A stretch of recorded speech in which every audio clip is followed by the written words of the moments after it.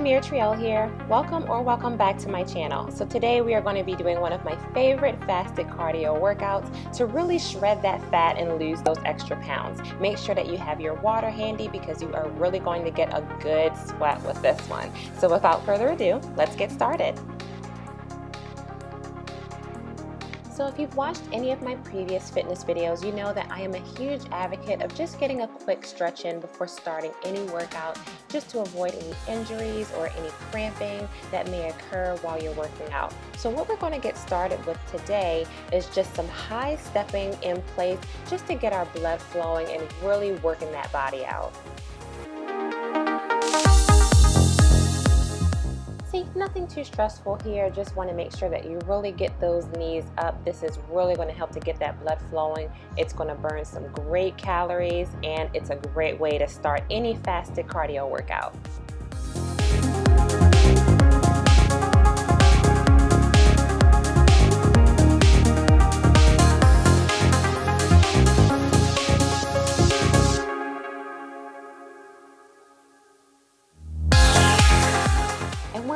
This is a superset by adding on some jumping jacks. Jumping jacks are so, so easy to do, but yet so effective in burning good calories and really getting your heart rate up.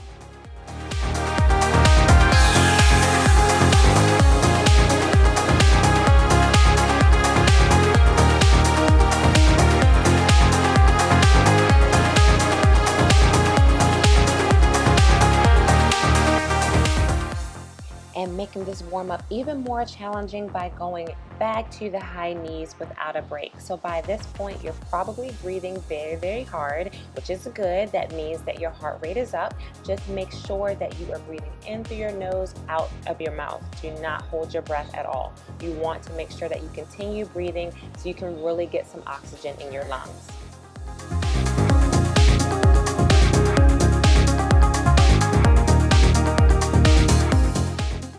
30 seconds of jumping jacks, guys. You can do it. Breathe in through your nose, out through your mouth. If you need to take a quick break, that's fine too.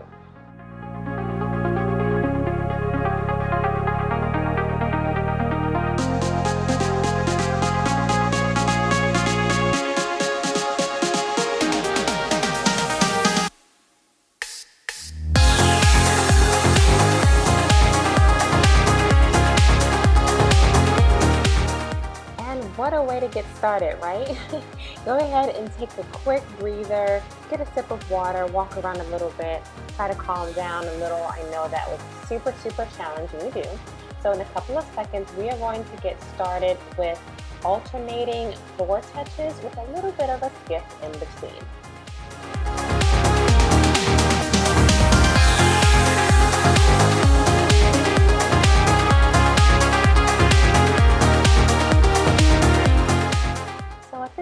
I'm doing a little bit of a skip in between, alternating each hand touching the floor.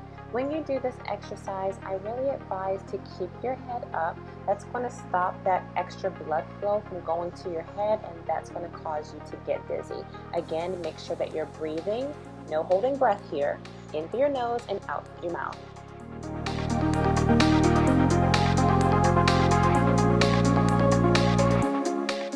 I lost my footing a little bit here, but what we're doing is a shuffle to each side.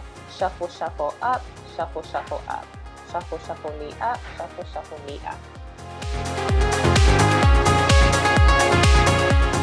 This is actually giving us a full body workout. You're moving those arms, that knee is coming up, so you're working that oblique area and you're getting a full leg workout here.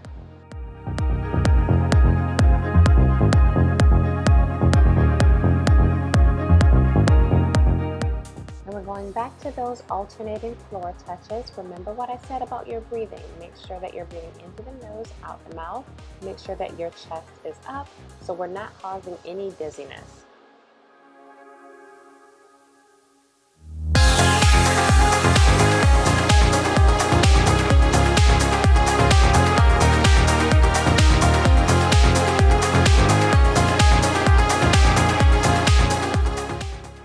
Back to our shuffling to go ahead and finish this on out. You're so close to finishing this exercise. You can do it, guys.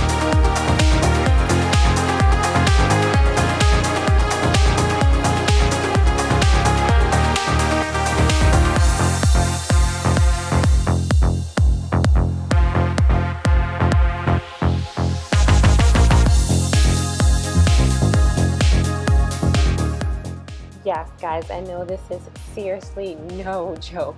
Go ahead and utilize all the time that you need to catch your breath, get a sip of water.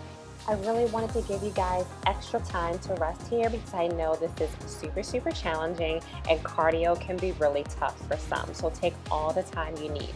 Next, we are going to be moving on to some burpees and some mountain climbers.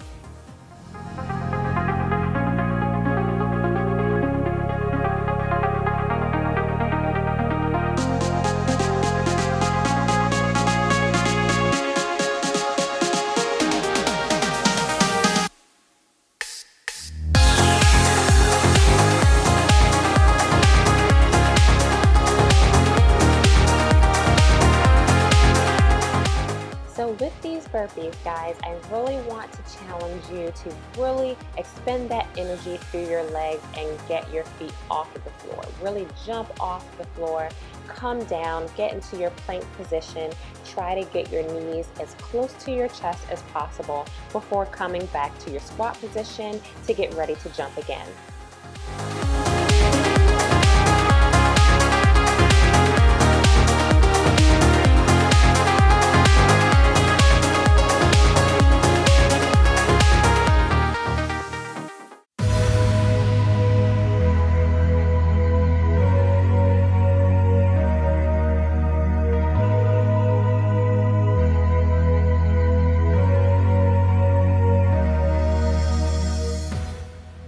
Yes, I am giving you a superset here. Breathe for me, guys. Take your time if you need to. With this diagonal crunch, we really want to focus on only twisting the upper body and keeping the pelvis neutral. What this does is really gives you a good workout in that ab and oblique area. Make sure you keep proper form by keeping your hands in line with your ears and elbows. Make sure that you're lifting your chest and your shoulders off the floor completely.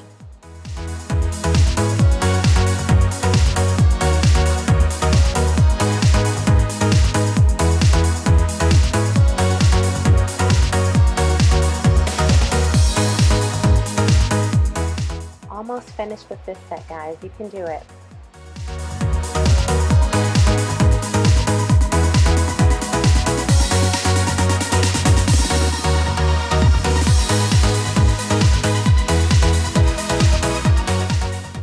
And yes, sometimes you just have to sit there and breathe for a second. Great job, guys. Go ahead and grab your water, take a quick sip. And if at any point you find it challenging to catch your breath during this exercise or any exercise for that matter, make sure that you grab your hands over top of your head to really open that rib cage and get some oxygen in your lungs. Whatever you do, don't lean over to catch your breath. That really does not help you.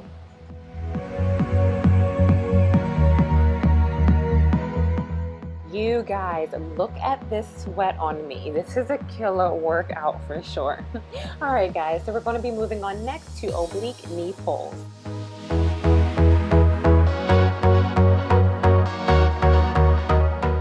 All right, so we're slowing the pace a little bit with this one, but still just as effective for this fasted cardio workout. So we're standing about hip width apart you want to make sure that you are lifting your knee at least 90 degrees to really get that oblique workout in.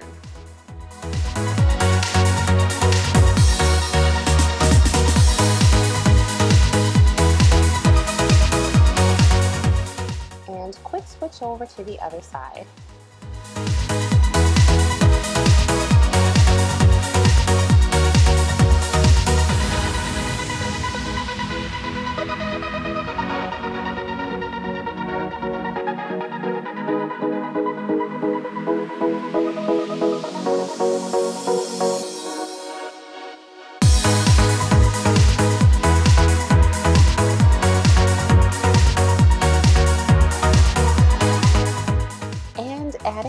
This superset with another full body exercise. So we are squatting, coming back up, twisting the body with a punch to the left and right. Remember, make sure that you're squatting and that your bottom is coming down further than your knees to really activate those oblique muscles.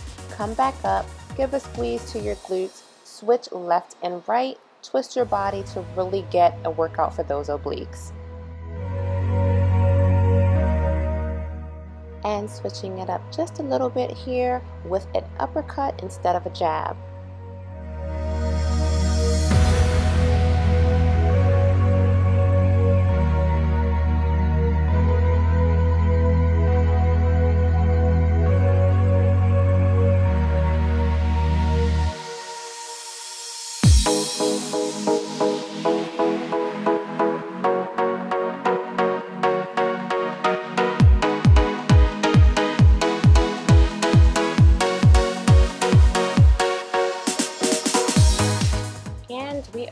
With this exercise. Great job. We are so, so close to the end of this workout. Comment down below and let me know how you're feeling so far.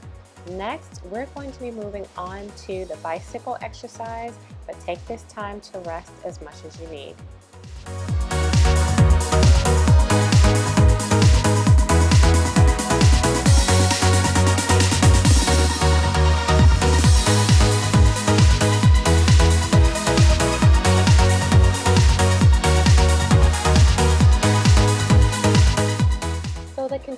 Movement of your entire body with this workout really makes it a great cardio and muscle strengthening workout. So with the bicycle, this really does give you a great workout for your entire abdominal area. With this twisting that I'm doing with my upper body here, that really gives you a great workout for your obliques. Quick tip, when you are straightening your legs before bending them back again, the closer your legs are to the floor, the better the workout is for your abs.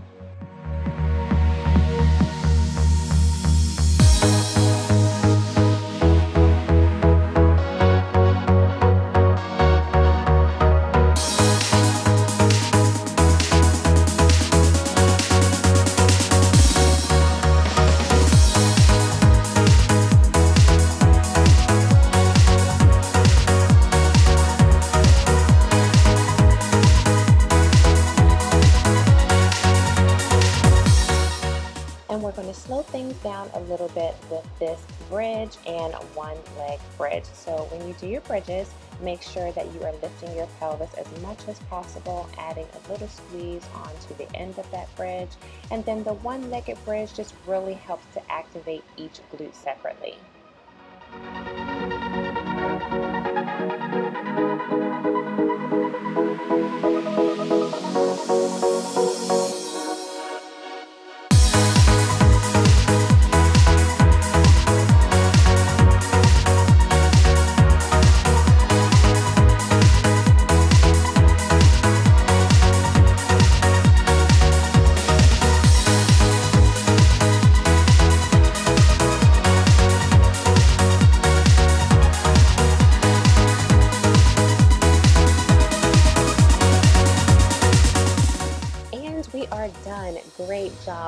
Thank you so much for hanging in there with me today. Go ahead and give yourself a pat on the back for this super, super challenging workout today. Go ahead and get your sip of water. Thank you so much for hanging out with me. I really hope you guys enjoyed this workout today and were able to take something from it. If you did, make sure you go ahead and subscribe down below and hit that notification bell so you can be notified when my next one drops. Make sure to eat some protein to feed those muscles. Bye!